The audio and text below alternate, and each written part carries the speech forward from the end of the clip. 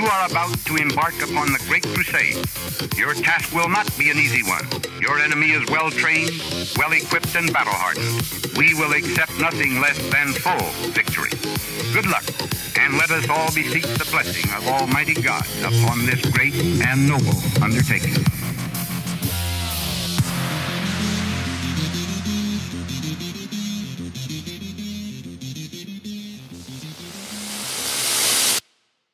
Welcome to the Army Flashcards Ranger School podcast. I'm your host, Zach Wiley, and we've been doing this podcast for several episodes now, so we're going to cut this introduction down a bit. For those of you who this is your first time, this is simply a reading of the Ranger Handbook. And for everybody, if you want some more resources for Ranger School, be sure to check out our website at armyflashcards.com. And with that, let's get into it. This is Chapter 4 of the Ranger Handbook Communications.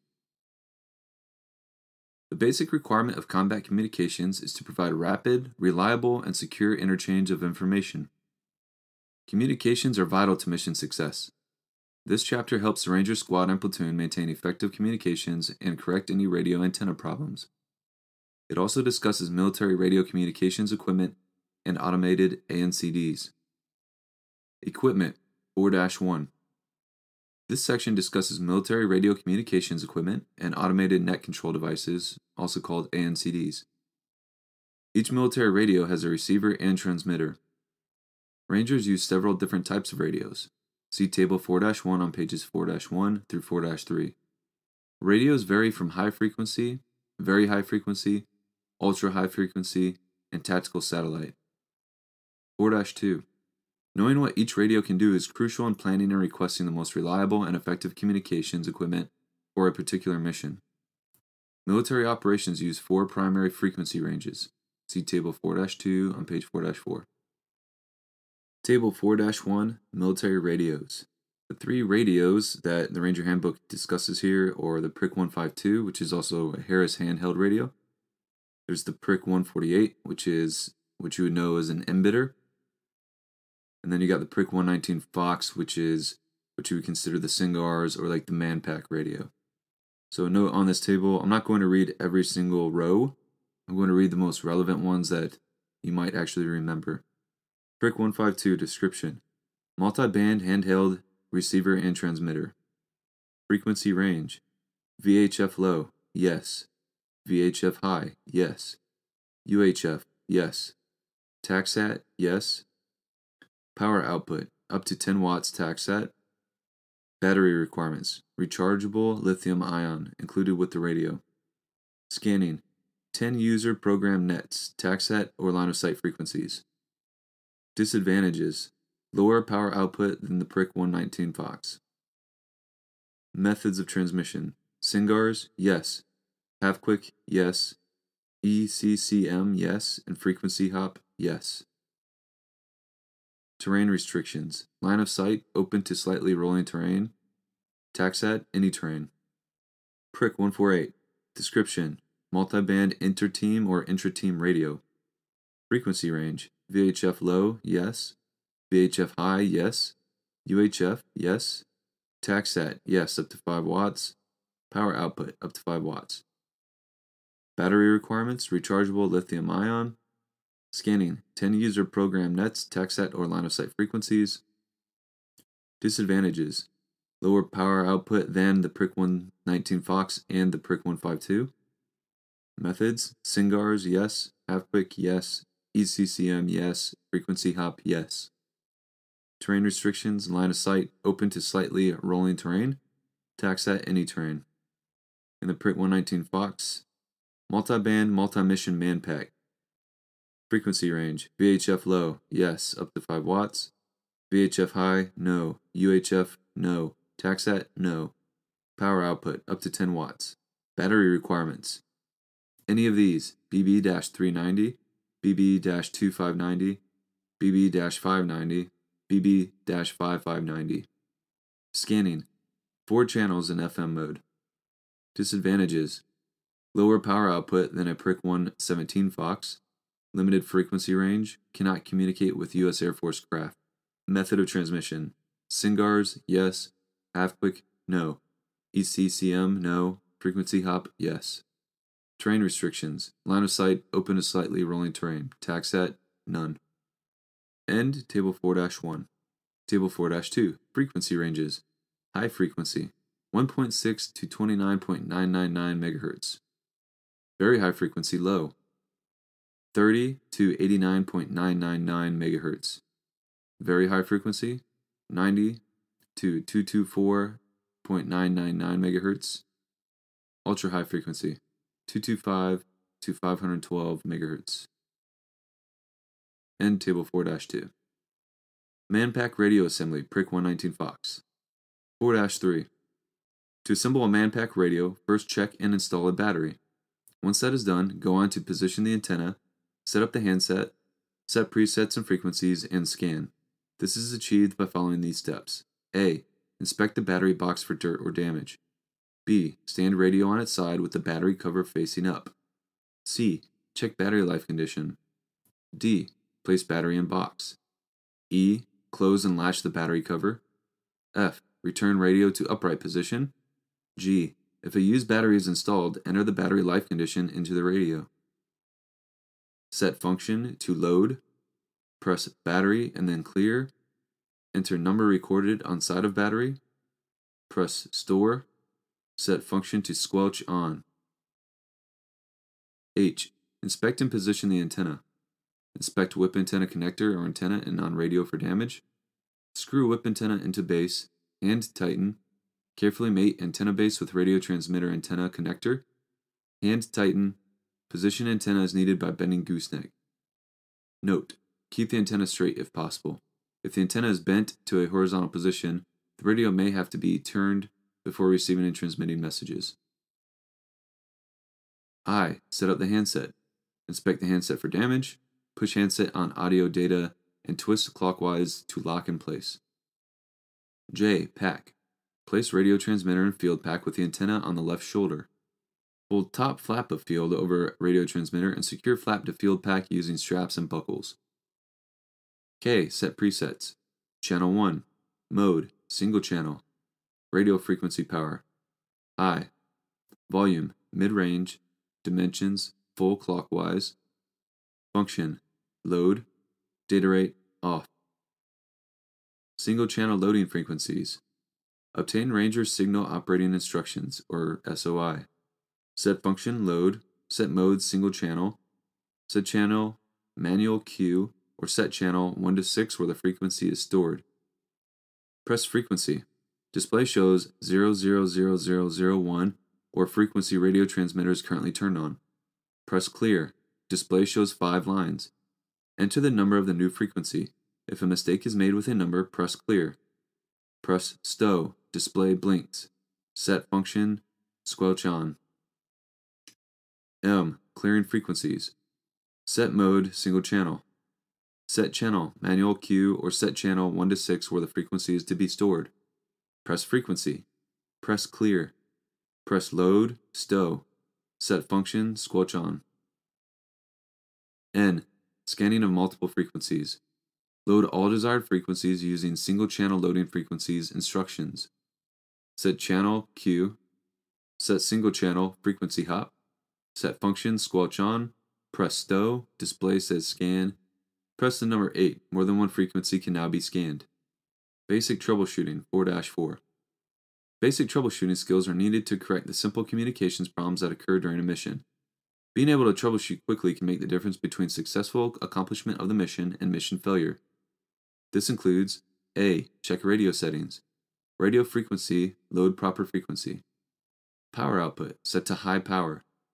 Time, if using frequency hop, reset time. Cryptograph, fill if using ciphertext, reload cryptographic fill with the automated net control device. Control knob, ensure radio is on on position. B. Check radio assembly and battery. Check antenna fitting, attach long whip or field expedient antenna. Check hand mic fitting, ensure contacts are clean and fitting is properly secured to radio. Check battery, install fresh battery. C. With line of sight radios, moving to higher ground may be necessary in order to make radio contact, especially in densely vegetated or uneven terrain. Antennas 4 5.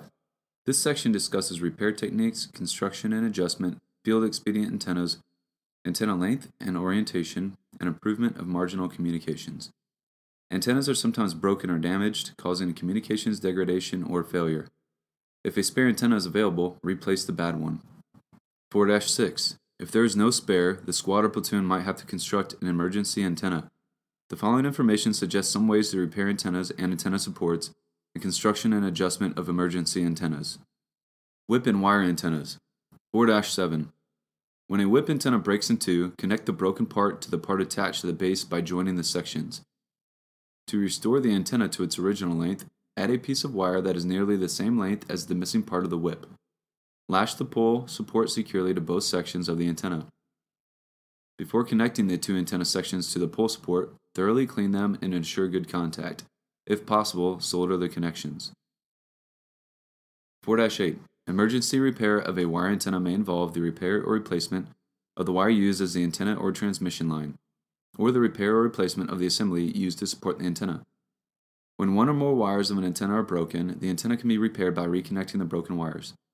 To do this, lower the antenna to the ground, clean the ends of the wires, and twist the wires together. Whenever possible, solder the connection. 4 9. If the antenna receives damage beyond repair, construct a new one. Make sure that the length of the substitute antenna wires are the same length as those of the original. Antenna supports may also require repair or replacement. Anything can be used as a substitute for the damaged support provided it is insulated and strong enough. 4 10. If the radiating element is not properly insulated, then field antennas can short to the ground and no longer work. Many common items make good field expedient insulators.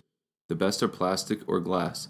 Plastic spoons, buttons, bottlenecks, and plastic bags are good insulators. Although wood and rope are less effective insulators, they are better than nothing. The radiating element, the antenna wire, should only touch the supporting non conductive insulator and the antenna terminal. It should remain physically separated from everything else. Construction and adjustment 4 11. There are specific methods to construct and adjust antennas. The best wire for antennas is copper or aluminum. However, in an emergency, use any wire that can be found. The exact length of most antennas is critical. Make sure that the emergency antenna is the same length as the original antenna. 4 12. Antennas can usually survive heavy windstorms if supported by a tree trunk or strong branch. To keep the antenna tight and from breaking or stretching when the trees sway, attach a spring or older inner tube to one end of the antenna.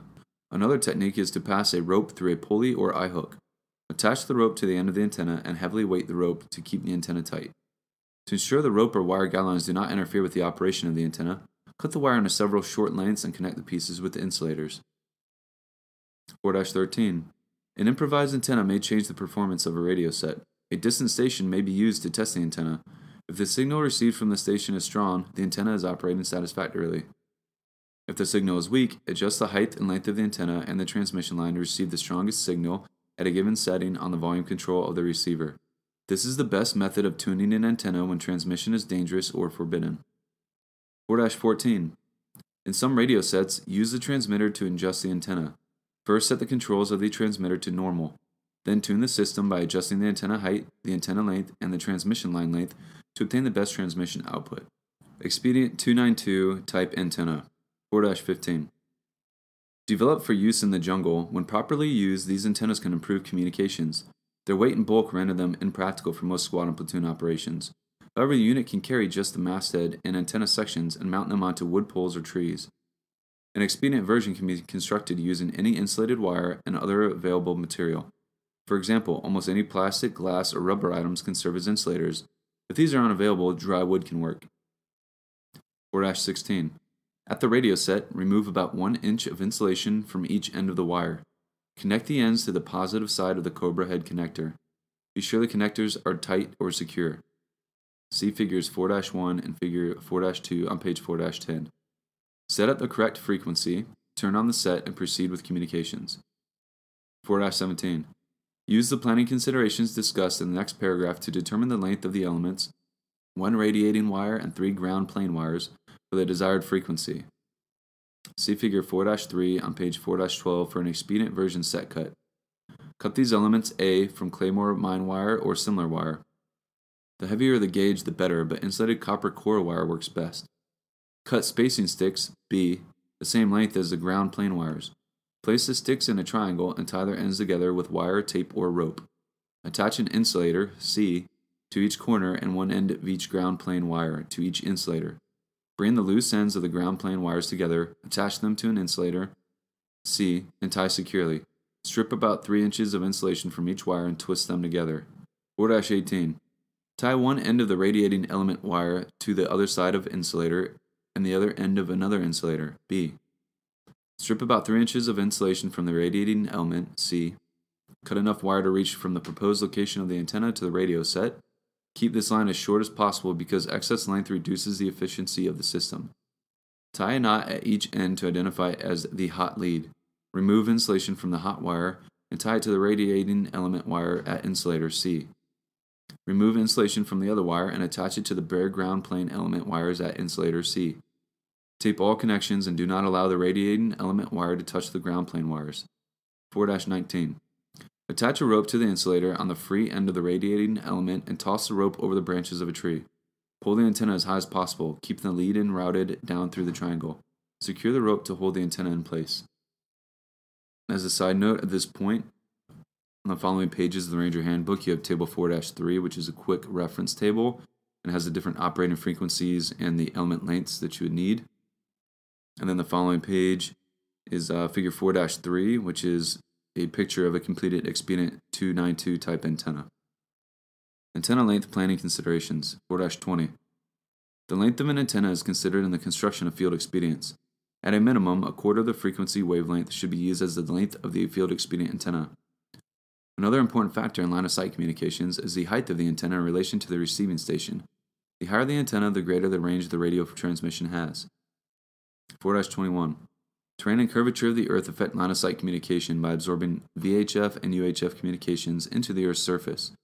This is overcome by increasing antenna height, power output, and radio frequency. Since radio frequencies are pre designated and the power output is limited to the capabilities of the radio set, Antenna length and height are the two variables that can be manipulated to increase radio communication range. Using the following formulas, it is possible to plan for the use of field expedient antennas, determine the best location to gain and maintain communication, and plan for communication windows as necessary. 4 22. To calculate the physical length of an antenna in feet, use the following equation. It gives the antenna length in feet for a one quarter wavelength of the frequency. To determine the antenna length in feet for a full wavelength antenna, multiply the antenna length by 4. Equation x equals 234 divided by frequency, where x equals the length of the antenna in feet, frequency equals the radio frequency used. Example 234 divided by 38.95 equals 6.01 feet, quarter wavelength antenna.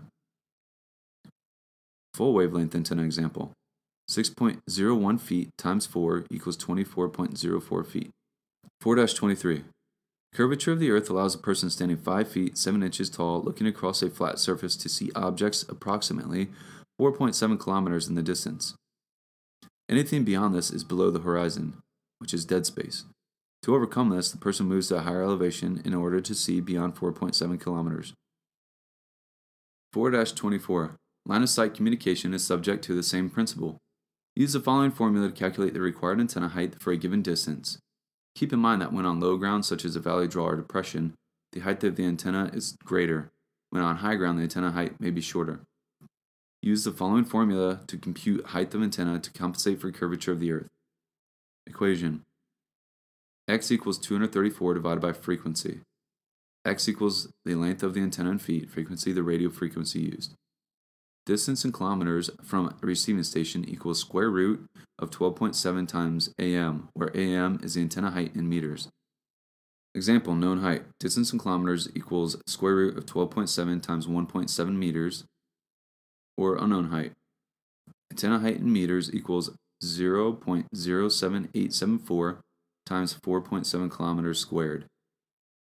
All right, and that concludes chapter four of the Ranger Handbook, Communications. The next chapter is chapter five, Demolitions. So we will cover that next time. Until then, uh, we have a few updates to our website. We just started a new uh, Platoon Tactical Basics section on our blog. Right now, we just got a, a down and dirty walkthrough on how to plan an ambush effectively. Uh, so, as you're waiting for the next podcast to come out, uh, check out the website, armyflashcards.com and start freshening yourself up on some of the more tactical things we're going to get into in the Ranger Handbook here soon. So, with that, take care, and we'll see you next time.